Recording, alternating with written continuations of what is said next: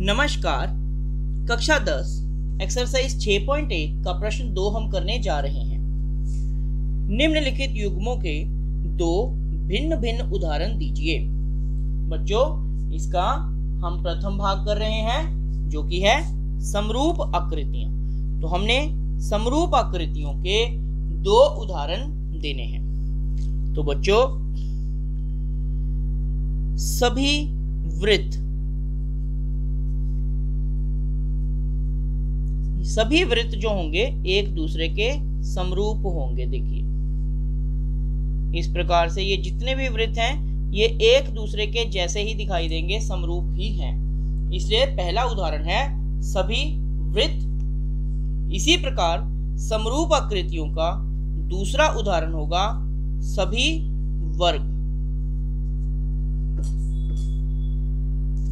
देखिए, यह एक वर्ग है यह दूसरा वर्ग है।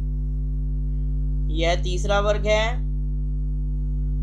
तो इस प्रकार से आप देखेंगे, जितने भी वर्ग होंगे, उन सभी में चारों चारों कोण नब्बे नब्बे डिग्री के होंगे, उनकी भुजाएँ आपस में बराबर होंगी।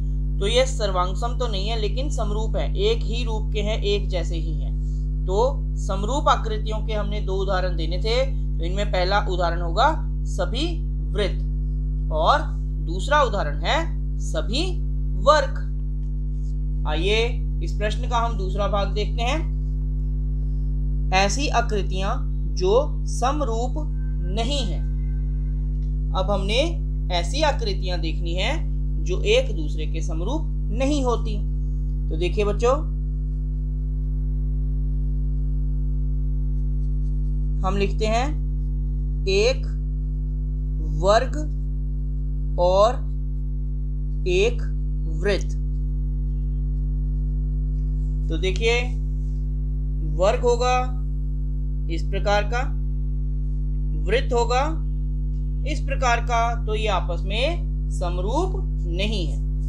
इसी प्रकार इसका दूसरा उदाहरण हम लिख सकते हैं। एक विषम बाहु त्रिभुज। बच्चों, विषम बाहु त्रिभुज वो होता है जिसकी कोई भी भुजा बराबर नहीं होती। और एक समबाहु त्रिभुज।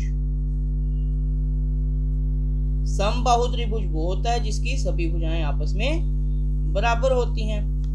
तो देखिए, जो विषम बाहु त्रिभुज है वो किसी भी तरीके का हो सकता है, कैसा भी हो सकता है। ऐसा भी हो सकता है वो, जिसकी कोई भी भुजा आपस में बराबर नहीं है।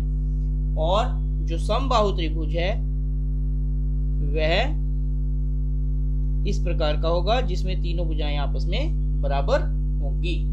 तो ये आपस में दोनों ही समरूप नहीं हैं।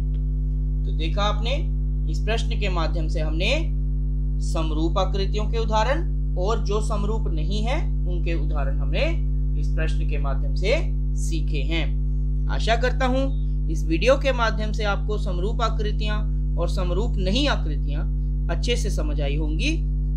इस प्रश्नावली के बाकी प्रश्नों को अच्छे से समझने के लिए आप हमारे चैनल पर सब्सक्राइब करके वहाँ पर बाकी प्रश्नों के वीडियोस देखकर उन्हें अच्छे से समझ सकते हैं। धन्यवाद।